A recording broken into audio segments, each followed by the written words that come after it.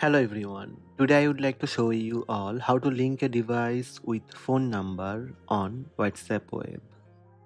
Let's have a look. First, open WhatsApp on your smartphone. Then tap three dots on top right. Tap linked devices.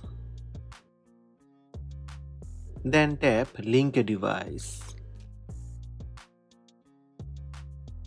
Now to connect WhatsApp web, you need to scan QR code or you can use your phone number to link a device. Tap link with phone number instead. To get your code, go to WhatsApp on the web or on another device and then click link with phone number. Now open WhatsApp web on the desktop device you wish to link. Open any web browser from your desktop, then enter whatsapp.com. From the home page, click WhatsApp web. Here you will see link with phone number. Click link with phone number.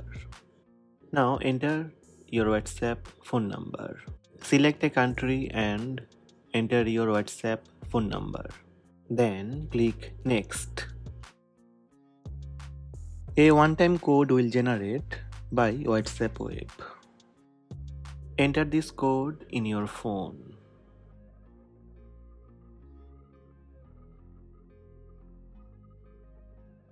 That's it. WhatsApp web connected. You will see the browser name with system. That's it. These are the steps to link a device with phone number on WhatsApp web. Hope this video help you. Please subscribe my channel by tap subscribe button. Also tap the bell icon to receive notifications about all new videos.